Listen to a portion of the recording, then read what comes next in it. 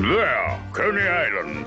Did I tell you how I won $2,000 at that amusement park? I'm sure it's amusing, Commander, but I really must. Uh, I'd gone there for a bit of fun when.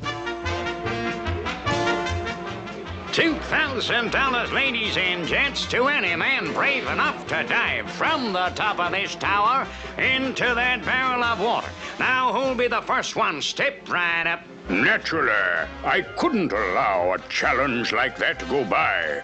So I stepped forward and started up the ladder. When I reached 100 feet, I did a neat jackknife. Just to get the feel of it, don't you know? Hmm. Then I climbed to the very top. I launched into a graceful swan dive when, to my horror, I saw that there wasn't a drop of water in the barrel.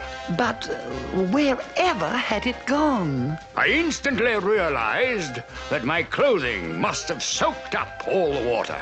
Quickly, I removed my clothes, squeezed out all the water which fell into the barrel, and I landed safely.